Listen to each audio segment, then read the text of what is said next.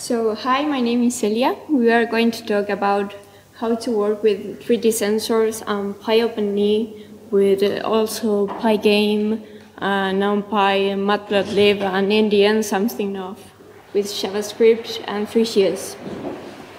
So first of all, I'm a PhD student in computer science back in Argentina. I also am an assistant professor at uh, Patagonian University, but my, my main work is in a uh, Patagonian Research Center and also the Imagine Science Lab in Bahia Blanca. Most of the work is bioinformatics stuff and serious game development. I'm also co-organizer of the first PyCon in Argentina, and this year I have been with the second one. So let's talk about the hardware we are going to use. Like a minimum setup, we will going to need an infrared uh, projector and an infrared depth sensor. Depending on the models and the branch you are going to buy, you can have a lot of more capabilities, such color sensor for texturing information, or maybe micro, micro microphone arrays, so you can get some data from the audio. There are also uh, mobile 3D sensors, but I am not sure what is the state and if they support OpenNI. So where is OpenNI anyway? So this is a framework that lets you forget about the device you are going to use. So you can write your code and you can use any of the device we see before and it's going to work anywhere. So it's not only to talk with the devices, it's also a glue between middleware you can, you can develop before your final application. So we are going to use NiTE, that is a bunch of computer vision algorithms that make uh, player segmentation, motion tracking, uh, gesture recognition, and a, a bunch of other algorithms. So where can you run it? You can run it in most popular platforms such Linux, Macs, and Windows. I also worked with uh, Raspberry Pi and Asus Xtion. Work pretty easy to run it and great results. And Linux, I don't have the opportunity to test in another. So, but what can you do with it? You have a lot of areas. The most popular, of course, is gaming. But you can also manipulate with natural interfaces some existing programs like media centers or even your PC. In the artistic part, you have uh, a lot of motion captures for programs like Blender, so you don't have to make all the animation. You can record yourself, and then they take that skeleton and put it in a, an, in a character you like it. You can also use it in robotics. You can give your robot 3D vision so he can analyze the scene, avoid objects, or pursue some specific ob objects. You can also use it like a very cheap 3D scanner. If you're not looking for high, high resolution, it's a pretty uh, cheap way to get out. And I think the most interest, interesting topic is augmented reality. So you can convert your home, your entire place, in a, in a great plan. So you can play games or maybe for educational purposes like museums and stuff like that. So how can you call OpenNI from Python? You have two options. You have PyOpenNI bindings. These bindings works with OpenNI 1.5. I think they are working to support OpenNI 2. And you have the PrimeSense bindings. These, these are the these are the you can say originals, but it's only for OpenNI 2. So when we start to making a Python script to work with a 3D sensor, we are going to find a very similar pipe in all applications. First of all, you have to create a context. This context is a box that you're going to throw all open, OpenNI stuff needed for your application. So you can start initialize a context from a config file. So you can say, okay, this device has this special node I want you to use. Or maybe you don't have right away your 3D sensor, but you have a recorder. You can record a scene, you can move around, save this record file, and in your next use, you can load this record file to your context, and then voila, you have an input of 3D sensors. After you create your context, you are going to want to add some generators. You have low-level generators like image depth and infrared generators that are most close to the device. And you have high-level generators like a user generator, hand generator, that, that you can add some callbacks to them. So if you want to do some specific stuff with these generators, you can program it in there. After you create and start all your generators, you are going to go to a loop. In this loop, you are going to want to update the data that the sensor gives to you um, PyOpenNIC gives you the opportunity of maybe if you want to wait to the image generator to finish, you say, okay, let's start with, let's, let's stop, let's make an update when the, when the image generator is finished. So the next, you already have your update data, so maybe you are going to visualize it or or maybe play with some position you're tracking. After your application is done and you want to go, you, it's good practice to shut down all your generators and, and remove your context. There are several ways. You can ask for each node to stop himself. So or you can ask to the context to stop all the generators that you put in this context. So, okay, let's see a demo.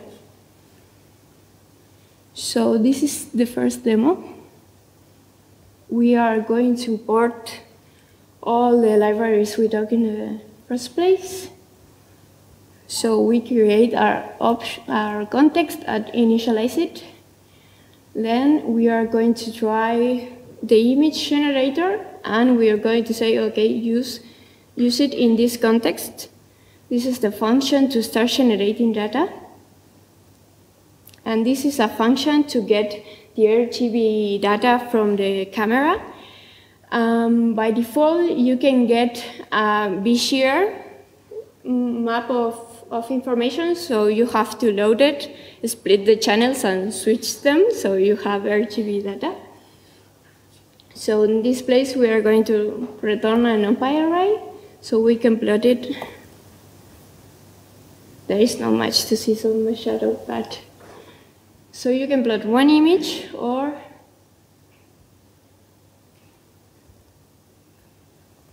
if we are using with NumPy, we can create a libcam. So this is a classic Pygame loop. You have to initialize create a display. And then when you're running, the only thing you want to do is to update the data from the 3D sensor and then ask that function we create about capture RGB data. So we, you can have like a cam, pretty simple, just a few lines. And like we are good programmers, we can stop and shut down the context. We create a new one don't worry, you can put a lot of generators in one context, but I want this to be line by line. So you create another context. We create a depth generator. You can set the resolution if you want, frames per second, and a lot of other attributes you can see in the documentation. We start the generation. We create a similar function that gets like an array the data from the sensor and reshape it so we can see it in the nice form. And you can plot it if you want.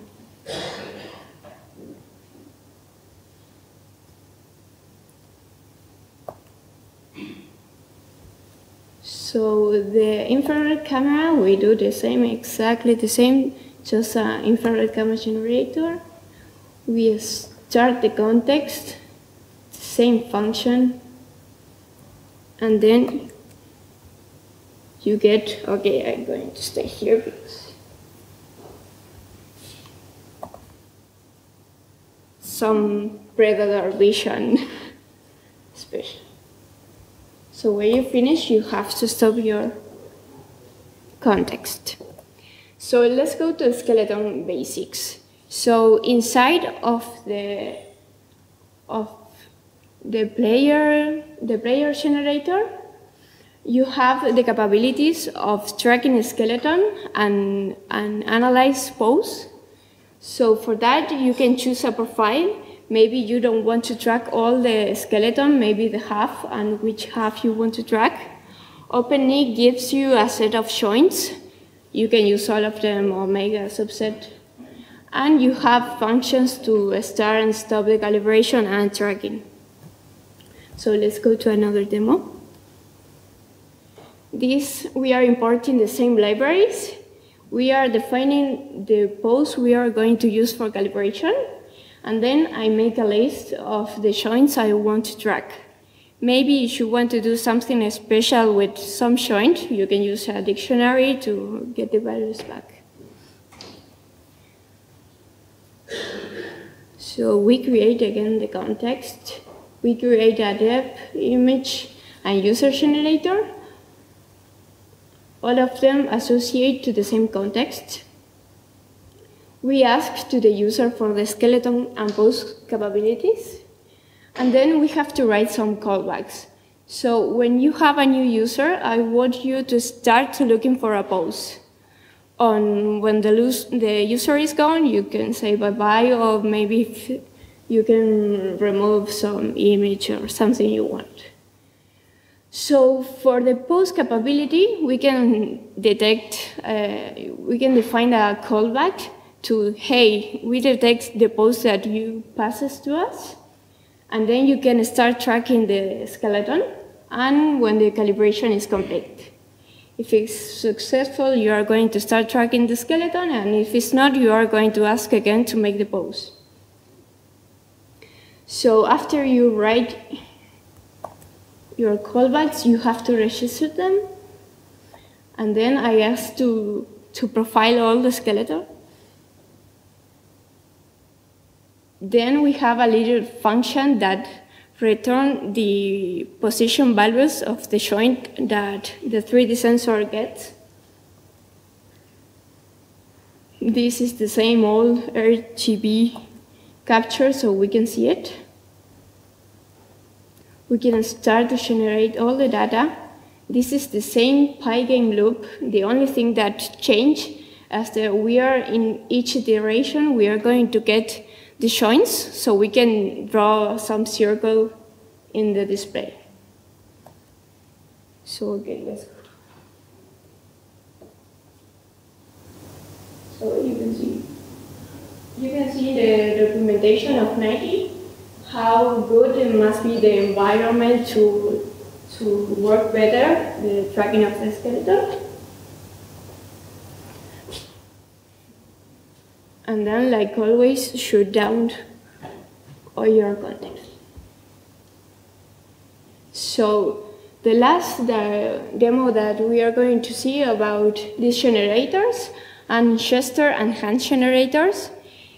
In gesture you have like a preloaded five or six gesture like waving, sweeping, clicking and a bunch of other more and you can start stop the tracking always you want. So we import sim libraries, create our beloved context, create depth generator image and hands.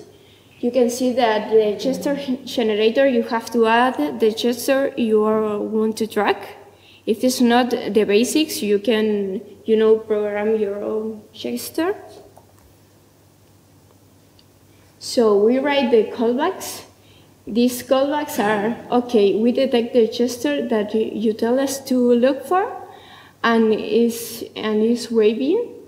And for the hand generator, we have to, hey, when you create a new hand, please do these steps when you update it and when you destroyed it.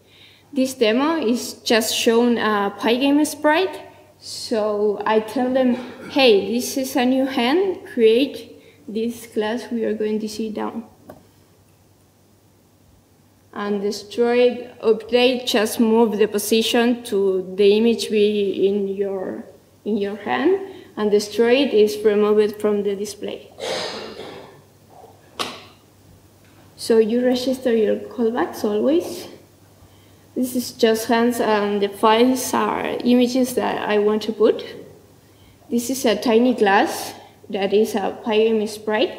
So the only thing that does is load the image and scale it so you can track your hand position. This is same function to see the camera.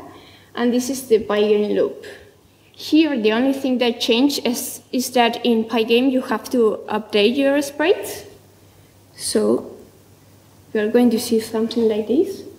So when you're wave, you can put something.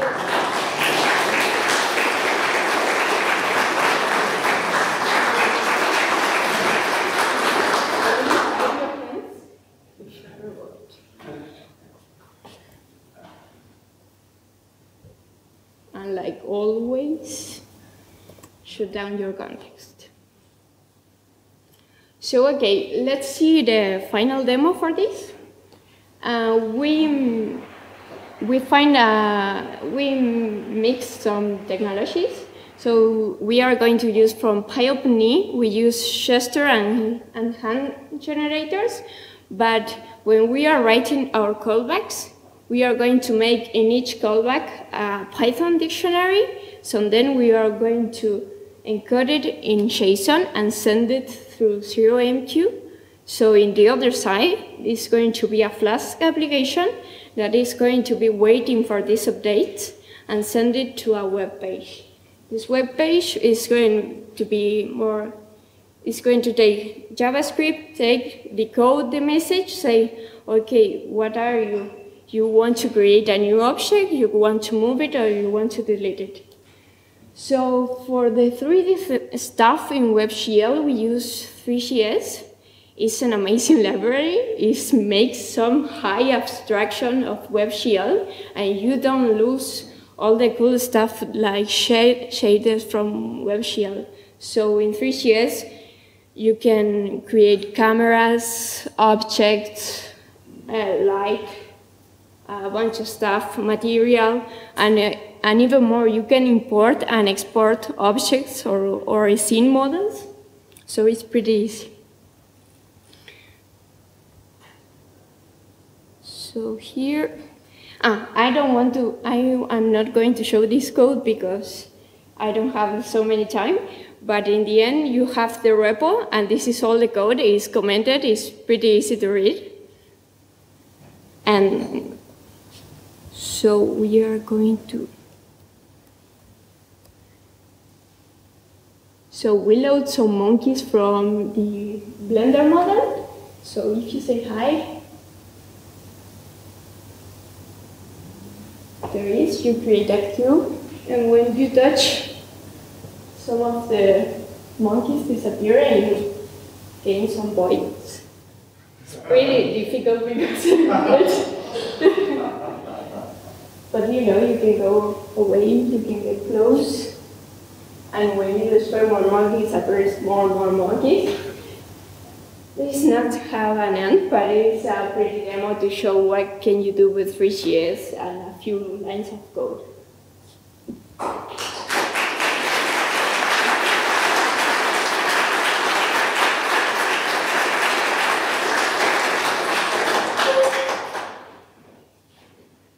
Um, we do have a little bit of time for some questions, if anyone has any and there is a microphone at the back. And if you're not close to it, I think the bench is small enough to just ask.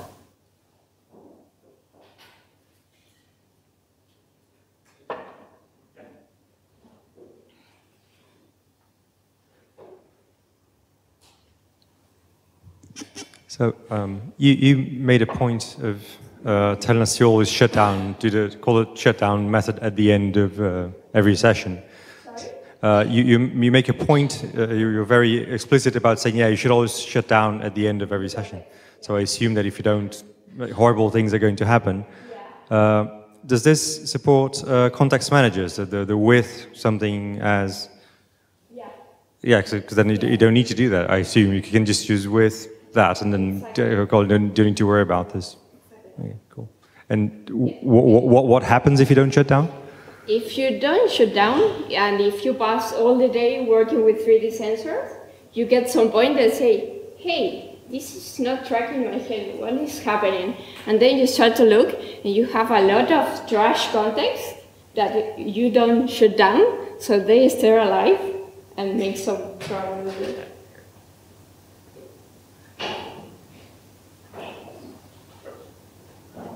Do we have more questions? Um, other- I have I have a question. Um, Are there any performance issues one should be aware of? Um, Are there anything which are difficult to do because of kind of performance? Uh, no, I mean, in a Raspberry. Of course, you are not going to you are not going to visualize it in a Raspberry because you are going to build it. But if you want only to process something and maybe send it to a, a web server, it works great. Um, no, in performance, I don't think so. Uh, I mean, WebGL is the part that consumes, but not the 3D sensor analysis Flix. But uh, I mean, if you are working with, I don't know, uh, 3D scanning, so when you have to intersect a lot of cloud,